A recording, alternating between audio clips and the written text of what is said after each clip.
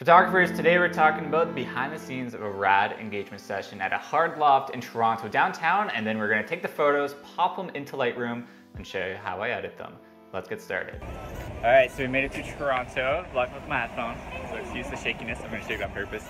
Yeah, so we're just about to go see Amina and do an awesome engagement session in the hard loft. Are you gonna take awesome engagement photos? I'm so excited. All right, so we're trying to go to our shoot, but we just got a random rainfall out of nowhere. Got rained on. Come on. You too?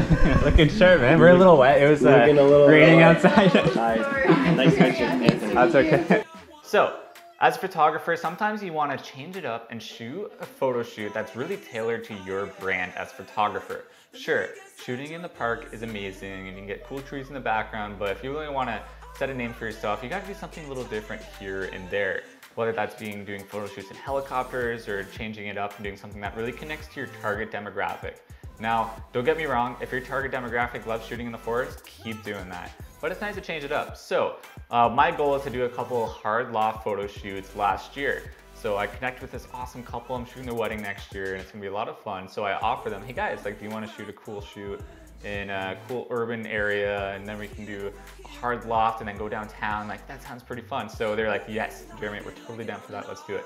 So essentially we started at a cool Airbnb and uh, check out in your area. Sometimes you can get really cheap Airbnbs for awesome prices. This one happened to be around $110 for the night. So we scooped that up. It had a swing in it. It was awesome. So I'm gonna show you guys behind the scenes of what went down in the photo shoot, kind of how I was provoking some laughter. Um, you can see the rawness of it and you can see the photos that I captured. You know, you can wrap your, your arms around her and you can both kind of like hold the pot a little bit. Because, you know, this is totally how we make coffee every day, right? Care, we, we do that all the right, babe, right?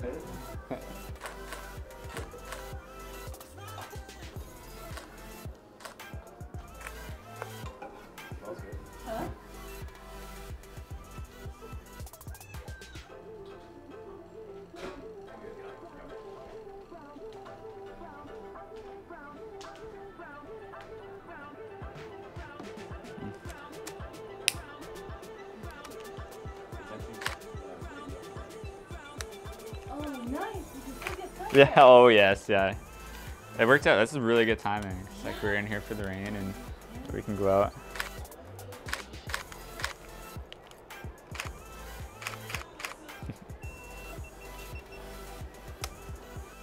Now, when it comes to doing photos inside, it's important to know that you're not gonna have a lot of room.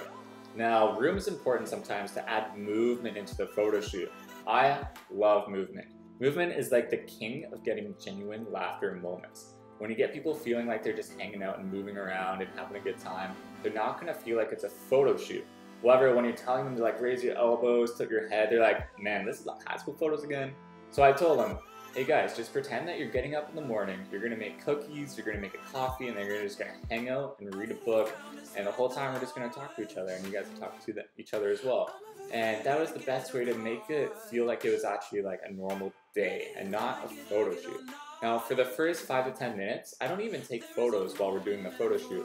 I'm just talking to them. I was like, hey guys, how was your Christmas? I met with you before Christmas. Like, how's the family doing? Like, I'm really getting to, to get to know them because this is probably the third time I've met them, maybe the second time. So, uh, making sure you're building that relationship with your clients is key. And doing that for the first, uh, well, you do it throughout the entire photo shoot, but like just having a fun time, cracking some jokes, like getting to know each other. So then they feel super comfortable. That's more important than taking productive photos at the beginning of the photo shoot. Just making your clients feel comfortable in front of the photos, in front of the camera.